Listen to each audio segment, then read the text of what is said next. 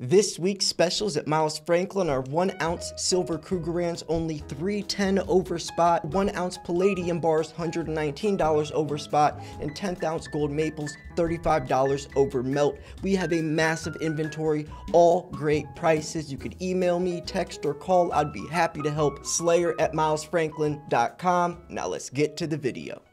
Welcome back, folks. I put together a great video for you guys and gals today. Quick announcement I just launched a Patreon.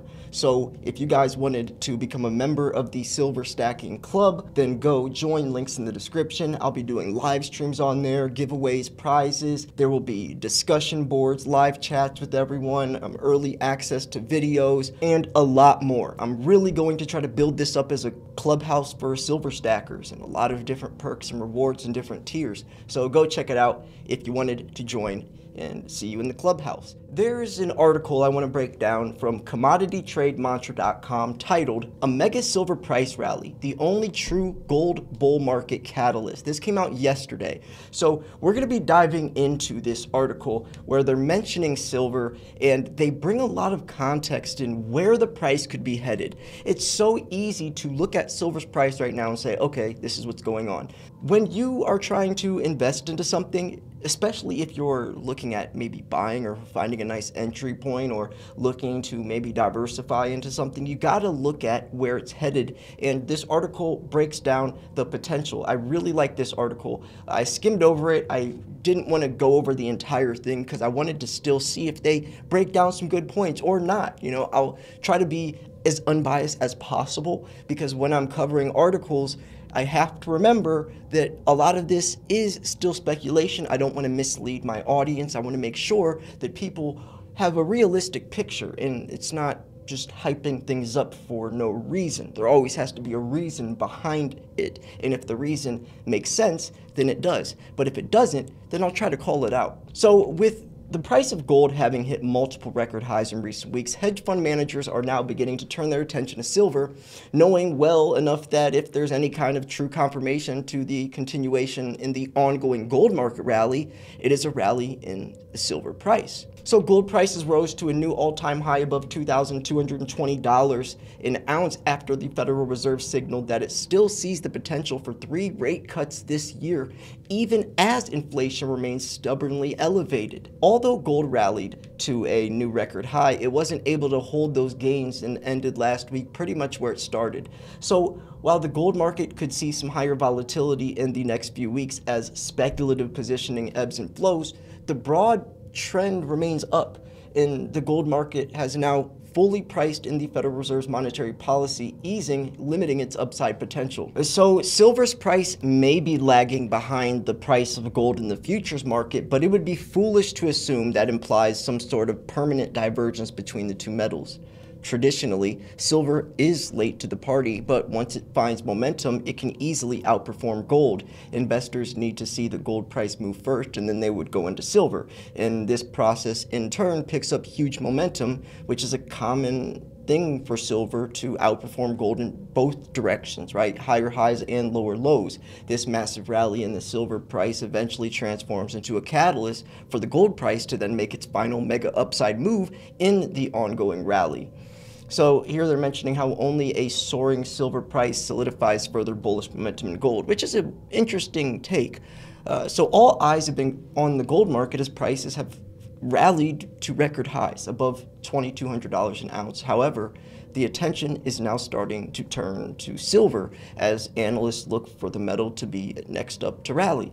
Many analysts have pointed out that traditionally, because of its higher volatility, silver outperforms gold in both bear and bull markets. In a recent interview with Kitco News, Carly Garner, co founder of the brokerage firm DeCarly Trading, said that while she doesn't like to trade silver because of its volatility, she does see potential for the precious metal. She added that while record highs might be a little stretch, prices can move above $30 an ounce when momentum picks up.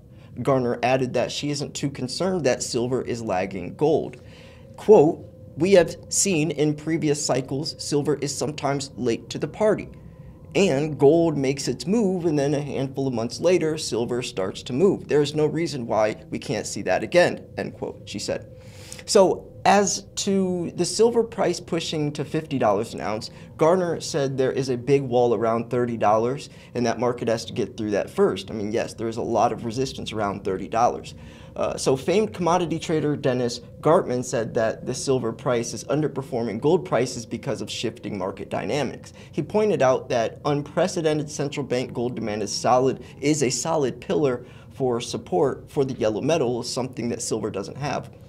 And I think there's lots of different reasons, of course. I mean, if you want to incorporate silver manipulation, which is a lot easier to do, gold is a much, much bigger market than silver. It's also why it's more easily manipulable and also why prices move to such extreme highs and lows where gold is more stable. Uh, I mean, it's also an industrial metal where gold isn't, right? Silver has this entirely other thing pushing and pulling its price. So to, to, try to compare silver and gold prices together is so silly to me. And I feel like when people try to do that, they're not understanding where silver's true value and potential comes from and the opportunity behind it as well. Gartman added that he would like to see a silver price rally as it would help to solidify the bullish momentum in gold. And quote, silver has always led gold in a bull market, and the fact that it hasn't done yet does bother me a little bit, but this time it could be different. Now, many analysts have said that the health of the global economy will be key to unlocking silver's bull market. Last week, in an interview with CNBC, Marcus Garvey, head of commodity strategy at Macquarie, said that silver can outperform gold if the glo global economy remains strong. Quote, as a dual precious metal and industrial metal, if we start to see global growth pick up a bit more over the course of this year, which is very much our base case, then I would expect silver to go from a relative underperformer to gold to being a relative outperformer to gold over really the third and fourth quarter of this year, Garvey said during the interview. Garvey added that silver's price needs to hold critical support at $24 an ounce. In a recent note, Fawad, founder of Trading Candles, said it might only be a matter of time before silver's price takes off, breaking through $30 and pushing it to $50 an ounce. He added that he expects an economic rebound in China to increase the metal's industrial demand, creating solid support in the marketplace. And let me branch off right there because China is the largest consumer of silver. So, with that happening, especially in the third and fourth quarter of the year, as the most controversial and critical presidential election to date, some could argue, is also going to be playing a huge role. And I also do think that people are waking up, and they're called safe haven metals because they are what people go to in times of economic uncertainty when people don't trust banks or the government. So, all of this forming together is a nice little perfect storm for silver, especially since gold is already up so high and the gold to silver ratio is so exaggerated. So, everything favors silver breaking out sooner than later. So, quote, considering the current rally approximately 7% this month, the bulls will be keen to prevent any drop below this level. The resistance trend line of the consolidation pattern is situated around $25 with a slight margin of variation. Beyond this point, a hor uh, horizontal resistance level near $26, he wrote in the commentary. Therefore, 25 and subsequently $26 are the immediate resistance levels that the bulls need to surpass to instigate an upward movement on larger time frames if these levels are taken out, it's plausible or it's plausible to anticipate silver testing its multi-year resistance around $30 next, said Neil Christensen. So here they go into the charts.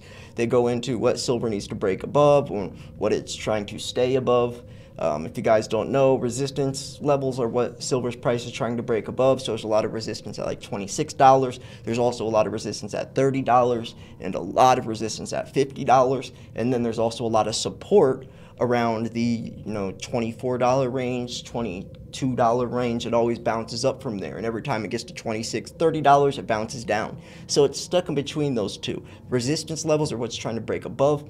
If we break above $30, that would be a nice move because silver always tends to bounce or, or, push back down. It starts to correct back down around that price since it's happened since February 2021, since the Wall Street silver movement that happened a little earlier, a little later. And then you have $50, which it couldn't break above in 1980, which was the highest price silver's ever been, still to this day. And then 2011, it broke back down uh, from $50. So people are saying if it breaks above 30, there is really no, there's no price movement between 30 to 50 dollars. So if it breaks above 30, most likely it's going to jump to near 50 shortly after that. It's going to be extreme overbought territory and it will correct back downwards. A lot of people will probably lose money buying when it's up to 45 something and then selling it after it corrects back down, not knowing that's supposed to happen. But then if it breaks above 50, we'll probably see $100 even quicker because then that's the highest price it's ever been. Talk of the town, news channels, friends, family, neighbor, squirrel in the backyard, everyone's going to be buying silver. It's going to push momentum very, very, very high, especially with a market that is so much smaller than gold, so it can move to much more extremes. That's why it's called um, the devil's metal. Uh, a lot of people call that, or gold's little brother, or uh, a dramatic version of gold, or gold on steroids, because it is very, very extreme in its movements, which is a lot riskier more risk, more reward. Take it how you want it. That's just a, the truth. So, um, anyways, you guys can look up into this. I didn't. I, I don't like going into the charts too much because I already basically broke down uh, where the support lines, resistance lines are, and that's really what's most important. We don't have to go into the Fibonacci retracement levels or the triangle for that. That's that's not my channel. That's not my cup of tea. Um, you know, I try to get a base knowledge of it since I am an analyst to some extent, I guess, or you could say a silver expert. Of course, everyone has their own areas of expertise. Mine is more on core fundamentals of supply and demand and silver stacking strategies, what's the best way to start, or bullion versus numismatics, semi-numismatics, all that type of stuff. That's really my cup of tea, um, you know. But regardless, it's all it, it's still good to know, or at least have some type of grasp on all of it, since it all is very important to some extent, I could say, I could argue, especially if you are looking to enter in the market right now and you're saying you're trying to look at the charts and say, hey, is it going to pull back a little bit in the next week or so? That stuff is important to know. So, anyways, um, if you want my take on that, I think the best way to tell with forecasts or predictions is to look at both sides. Look at the chart side of things, but also incorporate what's happening in the economy as well. Like, is there an FOMC meeting coming up? What is gold doing right now? What has silver done in the, in the past week? Or what is the dollar index doing? Is there anything, you know, breaking news happening? All of those things, the economy side with the chart side, and mix those two together, you get a better idea. Some people just look at the numbers and they're missing a, a huge piece of the puzzle because then they're not looking at the other side. A lot, same with the fundamentals of it. A lot of people compare silver to gold, and then even looking at silver, they're comparing silver's price to just the dollar index, not even understanding that there's this whole other world, which is the supply and demand fundamentals, which is the main factor when looking at prices or where prices are headed, especially for silver. So anyways, I'm going to wrap this video up here. Remember, folks, uh, patreon.com slash silverslayer. Go go enter. We, we're going to be building a community of silver stackers in there. We'll be hanging out in there, live streams, early access to videos, giveaways, prizes, all types of stuff. I've I'm gonna really try to build that into like a, a hangout. You can't really offer that on YouTube, um, you know, especially since there's different tier levels. Like every tier, you get different benefits. Um, it's five dollars to be like the basic member, and that will block out a lot of like the trolls or naysayers and all that because I want to have a positive place and everyone who's going to be going over there there'll be like a core true silver stacking community not a toxic YouTube comment section and plus your comments won't get lost and you could DM me you know the members will be uh, very close knitted since it's a much smaller community than my 100,000 subscribers it might, be like a 20, 30, 40 people, maybe 100 someday. So it's it's a lot more um, intimate and personal, and we can all talk to each other, where I can't really offer that here. So I, I really am excited about that. Um, maybe it will grow over time, but still it's going to be manageable. Like even if we have a thousand members, that's still a lot more manageable than, let's say, my YouTube channel. So um, it really is. I'm, I'm really excited for this. Um, so yeah. Anyways, uh, let me know what you guys think about this article where you think silver price is headed. Um, make sure I'm probably going to go live today, hopefully for a couple hours because I really want to start live streaming and I got to figure out that whole thing as well. So anyways, yeah, I love you guys. Thank you so much for tuning in. This is Silver Slayer. I'll see you guys later today or tomorrow. Peace.